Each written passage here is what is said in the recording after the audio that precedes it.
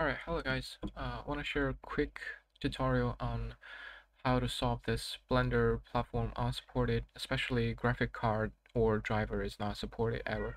So um, if you see this kind of error, uh, then, well, of course, first you want to make sure your graphic card is up to date and the driver is up to date, uh, like download uh, NVIDIA experiences or uh, GeForce experience like this, and then update your driver. But if you still see this error um, exist, then uh, it's probably because of this. So uh, you can go to um, this path. So ampersand uh, app data ampersand. Uh, this is uh, on your local C drive, and then you can see uh, Blender Foundation, and then go into this Blender, and then you can see your Blender version here.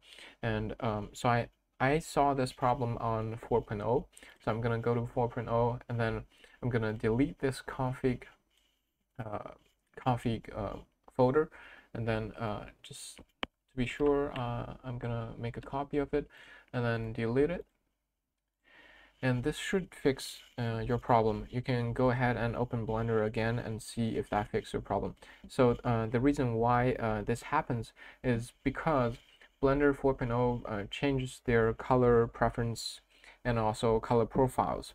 So um, if you import your uh, 3.6 or earlier versions, it might not be compatible with your 4.0 uh, 4.0 version uh, because they added that AGX color profile. So that might be the cause of uh, your uh, graphic card not being recognized by Blender.